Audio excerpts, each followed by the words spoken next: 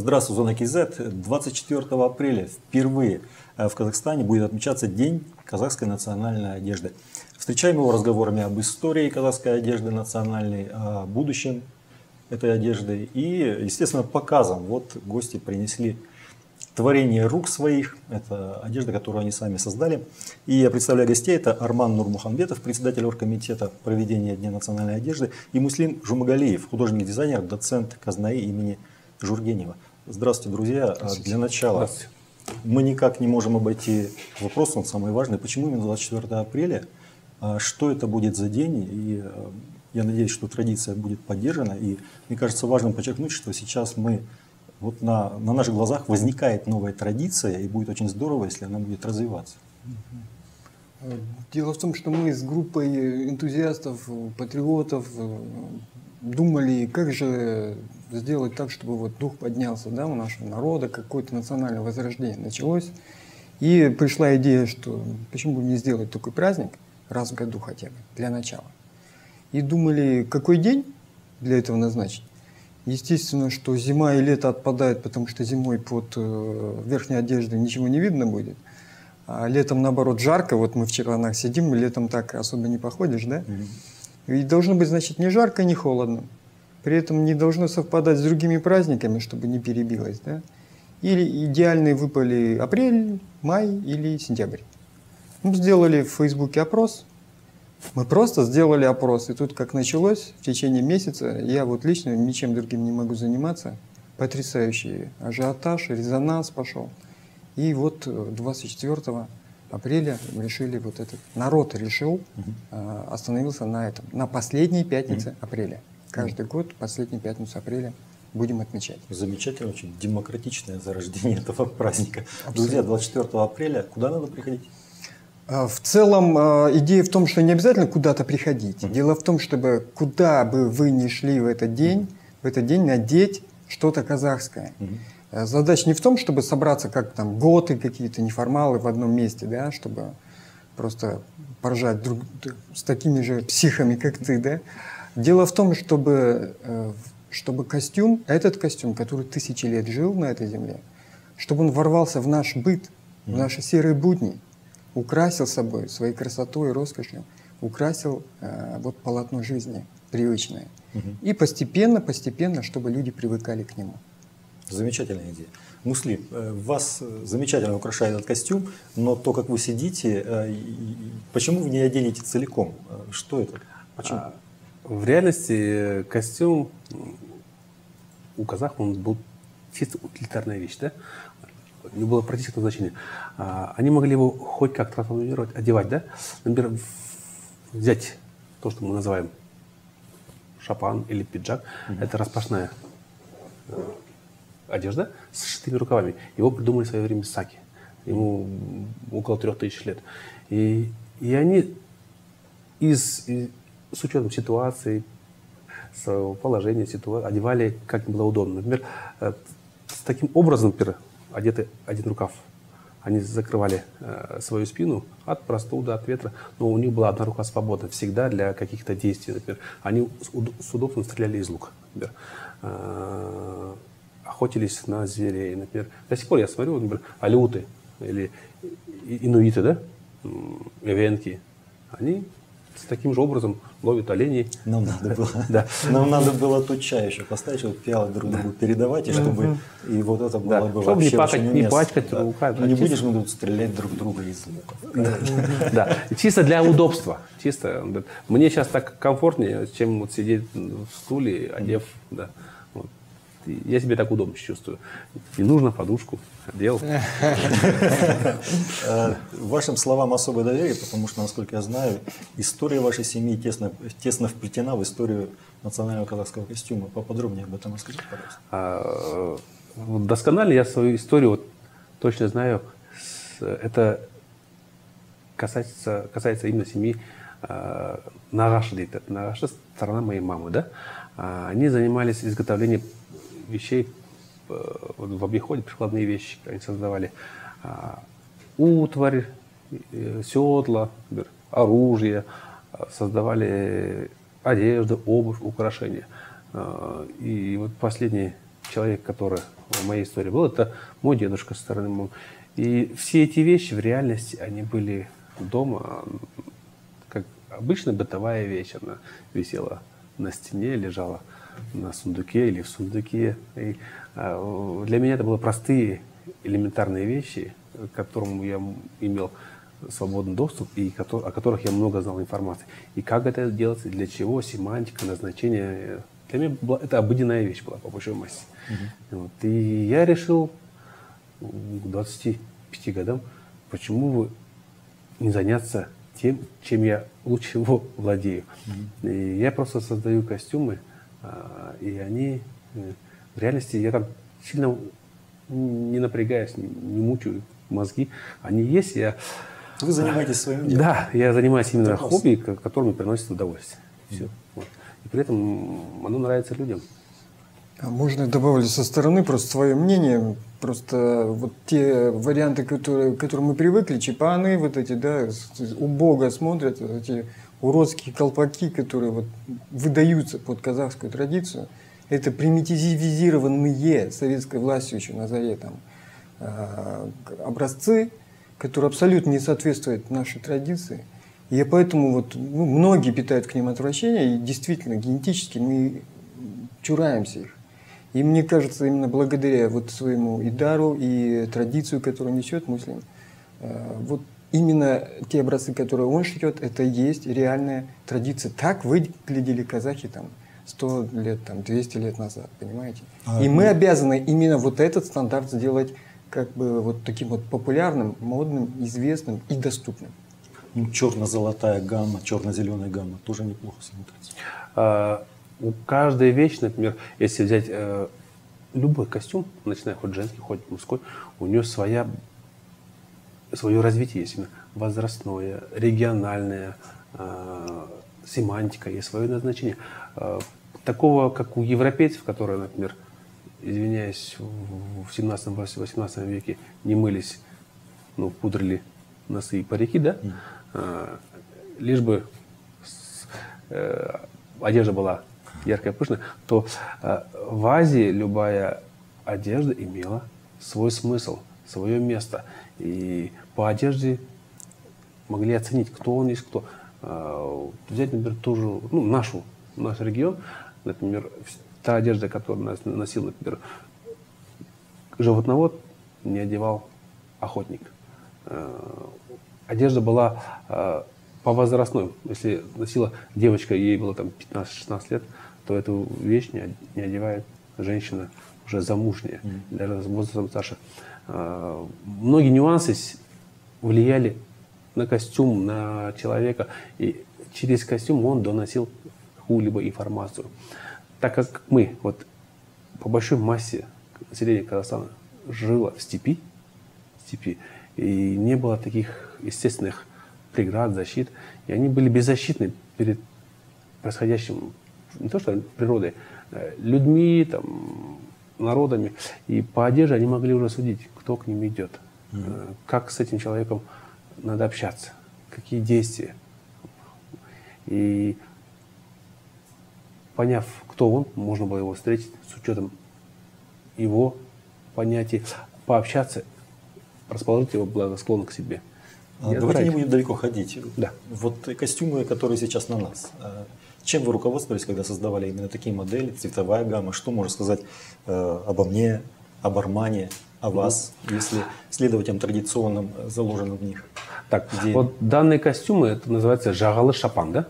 А, по большой массе это не считалось утилитарной вещью, это была нарядная вещь. Его в основном дарили почетному гостю. Mm-hmm. Почетному гостю, там куда, ну, сват, сватьям, э, именно э, дарили гостям. Или подобный костюм носил сал. Это вот, э, у музыкантов. Исполнитель. Да, исполнитель, там у них сал и серы. Mm-hmm. Вот. Сал, серы. Да. Сал это вот э, был наподобие Дэнди. Он был щеголь. Он носил самые модные, самые стильные, самые Даже потрясающее воображение. Да, да, он носил. Но мы сейчас не похожи на Салса, я надеюсь, нет? Да. Мы не выглядим щеголями. Может быть, я с длинными волосами, да? Да. А, и вот э, им дарили, э, во-первых, чтобы уже говорили, о, Балимбайдин шапаны такой-то сала делал. И он уже через этот шапан узнавали хозяина, кто подарил. Вот. Mm-hmm. Это, это как была визитная карточка в основном. Вот. Одежда несла всегда, всегда информацию. Передаривали эти вещи? А. Передаривали а, друг другу? Там дальше они ходили? А, шапаны, да, дарили, кроме головного убора. Головной убор и пояс никогда не дарили. Особенно головной убор. А вещи могли передаривать. Вот.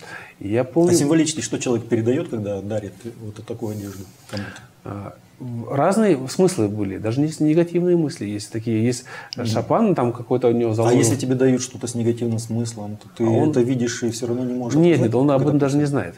Ага. Ну есть, расскажите подробнее. Да, вот. Есть, например, ну, многие вещи, например, э, когда э, невестка, например, ей готовят предне, ей готовят именно красный шапан. Вот красный шапан у нас носит только два человека. Это невеста и, и хан поднимали и только двоих пускает по белому. Потому что невестка, это вот э, дочь, это она считалась дома гостью, а она э, считалась в том доме, э, кто будет поддерживать очаг. И когда говорили кью джужилдак, куда мынжилдак, это имели, имели, что если даже жених с невестой они там проживут сто лет, то мы и наши предки с вами уже роднимся на тысячи лет. Mm-hmm. И именно э, роль матери, она имела большой-большой смысл, например. Самое ценное, самое такое э, важное была вещь, это запах или вкус материнского молока. Это э, оскорбление его считалось самой высокой честью. И у, у каждого ребенка, например, была э, до 40 дней две рубашки. Называется их итколек. И коллег это вместе с собачьей рубашкой перевести, так грубо, это дань еще э, периода Ашины, когда вот тюркский народ произошел от волка. Mm-hmm. Да. Брали одну рубашку, ложили туда гостинцы, одевали э, на ошейник собаки, отпускали. И это было для маленьких детей развлечение. Доставали, догоняли собаку, снимали э, рубашку, поймать еще надо. Поймать ее надо, отобрать у него гостиницы. Это было чисто для детей. Это, как сказать, Э, один из арандит, как сказать, э, чтобы у примета, же, да, примета. Да, примета, что у людей тоже были такие же дети, такие сладкие дни. Вторую рубашку э, его человек, мать складывала, и когда ему, он пришел, проходил возраст совершеннолетия, она ему отдавала, твоя работа, рубашка пропитана именно молозивом, тем молоком первым. И он его прятал всегда. Прятал под мышки. В основном всегда вшивали воротник. И у казахов до сих пор примета есть. Многие не знают. Нельзя вот воротник, даже когда рубашка какая-то вещь, воротник отрывают, платье могут уничтожить, рубашку, но воротник всегда берегут. Mm-hmm. Вот. Э, она считалась именно как оберегом, эта рубашка. Уже она просто пропитана материнским молоком. И вот э, тему к Шапану. Э, раньше, ну, до исламского еще периода, еще с времен, мать начинала шить венчальные, свадебные, одежду дочери. Она его не заканчивала к свадьбе дочери. Она его одевала, дошивала его, и в нем и хоронили. Вот, да. Это как есть такое вот у казахов выражение: родился той, женился той, умер той. И смерть была не такая э, страшная вещь в жизни казахов. Это считался э, часть того переходного хаоса, который в дальнейшем может идти в другую жизнь. Вот, вот такой смысл имел. А, Еще, у каждом регионе опять свой шапан, э, своя одежда, тоже шапан. Это было все зависимо от соседних этносов, народов, например. А, взять, например, людей Актюбинск, Тургайская область, например, а, Уральск – то те ближе были к татарам, к башкирам, э, калмыкам. И многие элементы одежды э, прослеживалось. И можно было узнать, что этот человек с такого-то региона. А взять, например, э, регион уже Мангостау, например, Устюрт, там уже цвет был бордовый, к туркменам, малиновый, да? к туркменам, к каракалпакам ближе. Взять южные регионы, там уже узбекские ткани. Взять, например, регион сейчас нынешнего района Чу, Талаш, Джамбул, там уже киргизские. А, в Семиречье здесь уйгурские, сардские, китайское даже влияние было в одежде. Носили казахи даже такую одежду. Вот. А, что покупали? то и носили. А, и что самое интересное, вот шелковый путь считают типа ограничен Китаем, вот, ближайших регионах. Нет, я когда стал изучать костюм, э, есть вот ткани, которые использовались именно еще в сакское время. Шелк, он с региона Западной Индии, например. А, были очень много, например, э, вещей, которые называют сейчас на Западе брукар, вообще происхождение от слова брукара, это от бухара, да? Mm-hmm. но она считается византийская, римская. А, вот, ткали в Ближнем Востоке и на Балканах. И эти ткани тоже присутствуют в костюмах, вот исторических костюмах, а, имели именно торговые связи. Но есть вот такие вещи, утилитарные вещи, как именно что положено девочке, нельзя было женщине носить, что носил Пирхан, не мог просить, простой народ одевать. Например, у нас сейчас повально дарят зеленые шапаны, угу. колпаки, да? Ну да, да. да. И что? Да. Уродской вот, формы. Да. А колпаки, например, э, это чисто была символика власти. Его носили только верховные бии. Их там, например, пять видов биев и носили. Его никогда не одевали на голую голову. Его одевали поверх или бюрек, или тахья. Но mm-hmm. это было именно символ власти. А сейчас одевают все, кому не лень. Дарят кому не лень. А это был именно только символом власти, только верховной власти. По этому головному убору можно определить, э, что он именно является бием. А, опять же, вот эту форму высокую, он, они, как и сам Келе, еще с доисторических времен, санского времени, что у них есть духовная связь с верхним миром. Mm-hmm. Вот это имеет значение. То же самое, что вот, э, у нас многие артисты, несмотря на свой возраст, значит, одевают девичьи головные уборы. Или, например, одевают мужские элементы кроя там, э, в одежде. Там. Есть такие умные у нас, например, э, монгольскую или бурятскую вещь представляют как казахскую вещь. Вот. Э, это тоже, я считаю, не очень-то этично, потому что есть своя идентичность. У каждого, ну, да, есть тюбетейка, например, узбекская, есть уйгурская, также есть казахские. Надо просто э, знать, разбираться, э, не кричать, что вот я знаю, я разбираюсь, вот, пожалуйста. Э, и эту цель мы преследуем, чтобы донести, чтобы каждый, кто себя считает ну, казахом, без разницы, какого он рода, племени, от кого он джуза, да, Э, чтобы он знал о своей идентичности. То, что он именно, это его часть истории, часть его культуры. Вот как узнают же, например, японцев, индейцев, немцев, там, еще там немцев еще можно понять, кто он, швабский немец или селецкий. Вот именно, это, именно по костюму я могу даже узнать, да? А у нас есть свое лицо. Мы просто должны его уважать, ценить.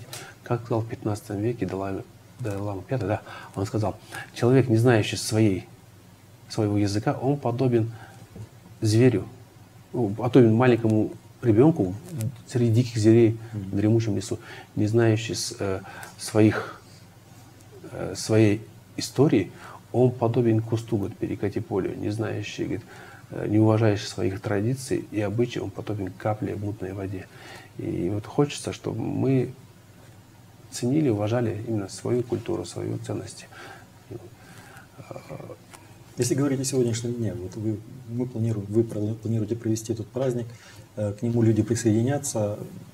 Как вы думаете, что произойдет? Что может произойти? Чего вы хотите достичь? Мы вот удивились резонансу и только со временем поняли, осознали, что вот некоторые сейчас говорят, да что там одежда? Mm-hmm. Это игра, забава, да, вот мы сейчас оделись и, ну, для, так сказать, фан, да, have fun. А на самом деле очень мощные пласты, оказывается, за одеждой стоят. Во-первых, это сразу легкая промышленность. То есть, если вся страна в один день хотя бы будет одевать костюмы, естественно, будет легкая промышленность шиться. Это работа мастерам, работа дизайнерам, работа э, швеям. Во-вторых, это туризм. Есть дни национальной одежды в каких-то странах. Японии, да, по-моему? Да, у них есть день кимоно. В этот день со всего мира приезжают просто посмотреть на это зрелище, как целая страна в кимоно ходит по улице. Так? То есть туризм. Третий пункт – это вот о чем говорил Муслим, это исследовательская часть. Мы до сих пор не знаем, как выглядит наш костюм в реале. Э, Четвертый пункт – это дизайнерская, то есть это взрыв творчества. На базе вот этих вот э, нашего наследия, которое есть, можно невообразимые формы современные какие-то, да, развивать эту линию. И, наконец, в конце концов, это патриотизм, потому что насколько вот мы смотрим по реакциям, люди вот одевают, даже не будучи казахами, да, интернациональные коллективы уже э, одевали костюмы, и по их отзывам, э, вот именно по их словам, говорят, мы впервые почувствовали себя единой силой. То есть сила одежды все-таки несет какой-то психологический эффект. То есть э, результаты будут многоплановые. Я думаю, что результатом основным э, со временем, разумеется, будет то, что мы начнем чтить, уважать, носить в быту, на работу, там, на базар, в гости, куда угодно, в любой из дней. А этот день является просто, так скажем, вскрывающим вот эти пласты пока что нерешенных проблем.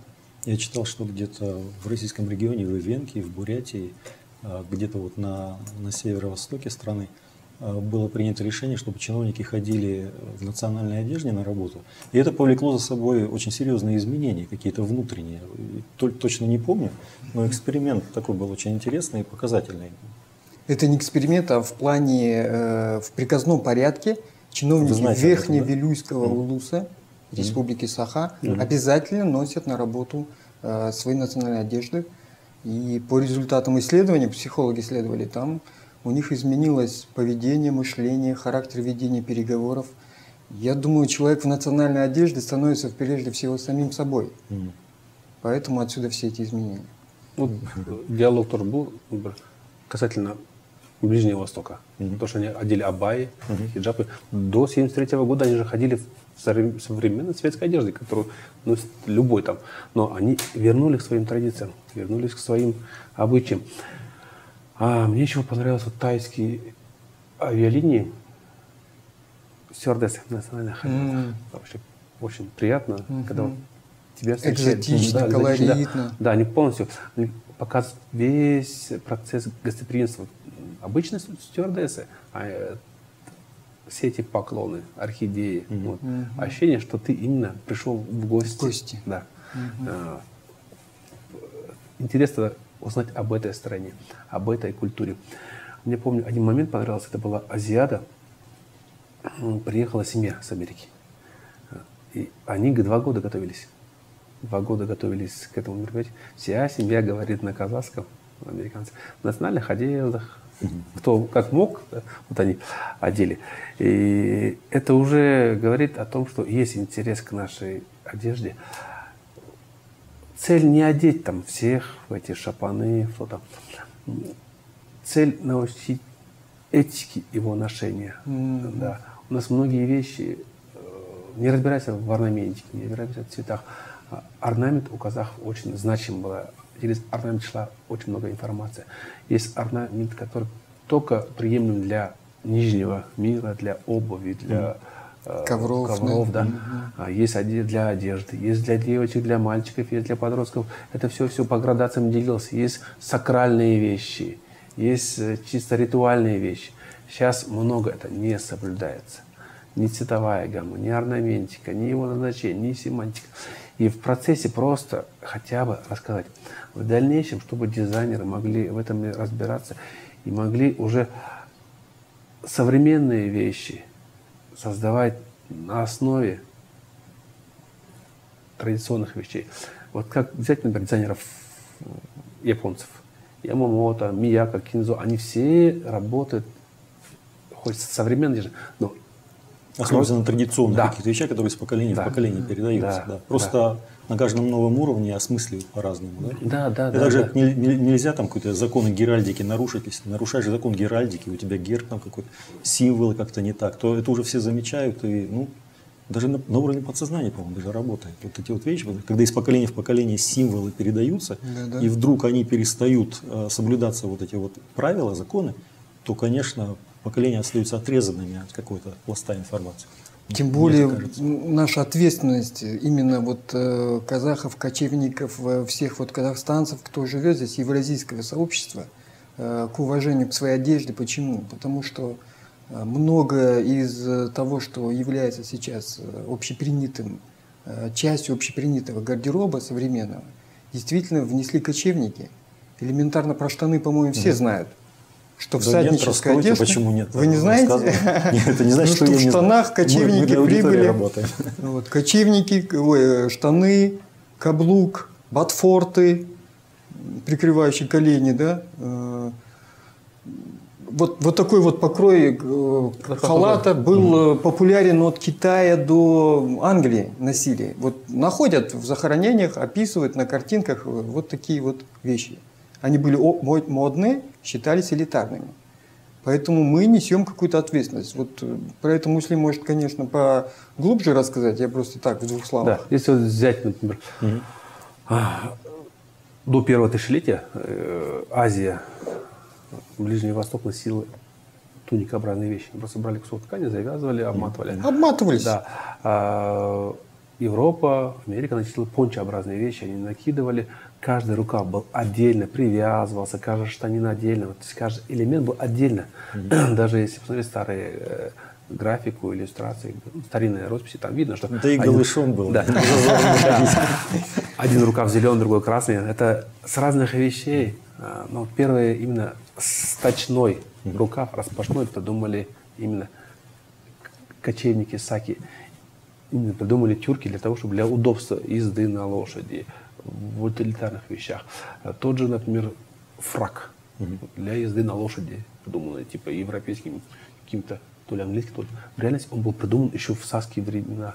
Э, данные находки есть в работах ученого Радлова. Он в 1932 году это нашел один к одному. И до сих пор дан такие подобные вещи носят и алиуты, и инуиты. Такая же форма фрака. Просто под задницу а, положить, чтобы присесть. Да. Да, а, первое упоминание о штанах, это когда э, царица царская в Древнем Египте шла, проверяла. Э, э, у нее была такая привычка проверять э, стражу ночью под утро. И она, когда шла, она заметила на одном стражнике вещь. Видела, кто это такие? Говорит, это, говорит, степные племена, говорит, наемные. И первое именно упоминание в, Савской, Сакс, господи, Егип, в Древнем Египте mm-hmm. было именно эти наемные войска, mm-hmm. которые пришли со степи, и у них были штаны. Вот. И штаны именно для того, чтобы было удобно ездить на лошади. Э, каблук, понятно, для того, чтобы сидеть на стремени, э, загнутый носок, чтобы удобно было стрелять с лука. Вот. Естественно, и лук, и узда была придумана здесь, вот э, в регионе. Взять э, Западную Сибирь, э, наш регион. То же самое можно сказать о первых месторождениях плавки металла. Именно не в Китае, самые древние находки, это получается регион Алтая, Восточный Казахстан, взять Берель. Самая древняя селекция лошадей, верблюдов. Опять же, данный регион шла работа. Если кто-то считает, что гороскоп придуман китайцами, оно в реальности было придумано на Алтае. Поделение по годам. Об этом есть информация, например, в Мадена Дарана, в Ереванском архив, называется Маден Даран. У них есть 36 томов Авесты. 36 томов Авеста были именно изучены, изданы в период еще до тюркского периода в районе города Аркаим. Вот. Угу. Была и письменность, вот взять ту же самую архон-енисейская письменность, которая является прародителем греческой, оттуда латинской и кириллицы. Вот. И Ну, мы это немножко в сторону от Ну, сейчас- Да, вообще, да, вообще история. Ну, Да, да, да. От истории то- костюма мы немножко отодвинемся. Я, кстати, предлагаю вам э, сегодня, наверное, 24 апреля дождемся, а, проведем этот праздник, э, посмотрим, как все пройдет. Вот, Я кстати, о празднике. Нужно же рассказать содержание, что там э, будет 24-го. Мы-то Вы еще не все призываем- рассказали, у вас еще остались какие-то сюрпризы. Давайте, А, конечно. Мы призываем не только в быту вот надевать, да, но э, по всему Казахстану, ввиду того, что пошел такой отклик, мы предложили из каждого региона выслать кусок ткани с э, надписями, с Отрез, да? пожеланиями, отрезы ткани, да, прошу прощения. Э, Из этих отрезов будет сшит э, так называемый ель-шапан. Шапан национального единства. Это будет абсолютно такая символическая, священная, так скажем, вещь, будет символизировать единство вот наших всего, всего Казахстана, народов Казахстана. Осуществлять этот пошив Когда мы будете, его- когда мы думаете, увидим? как вы, как вы думаете, кто? Наш гость, Муслим, Жумагалиев. Мы его будем создавать на базе Академии имени Жургенова. Вот на, на его площади мы торжественно э, со всех регионов принесут эти отрезы с их пожеланием. И мы из этих отрезов сошьем один шапан. Он- 24 апреля. 24 апреля в 10 часов утра э, Академия на- Так я вас и искусства- спрашиваю, где собираться, а вы говорите, каждый может ходить Да. на своем, по своей улице Ну, это дополнительное ритуальное действие такое. Понятно, спасибо большое. Я думаю, про э, история национального казахского костюма, это еще мы к ней вернемся и поговорим еще более детально. Может быть, принесете какие-то образцы, Обязательно. как это, что символизировало, где какие цвета использовались. То, что вы говорили, расширим. Мгм.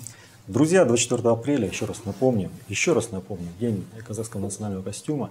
Те, кто хочет э, присутствовать, лично смотреть, как этот национальный ель-шапан будет э, создаваться, те собираются во сколько? В 10.00. Да, в Жургенике в 10.00, это в Алма-Ате. Милости просим, приходите, оставляйте комментарии. Большое вам спасибо. Пожалуйста. Всего Спасибо. хорошего.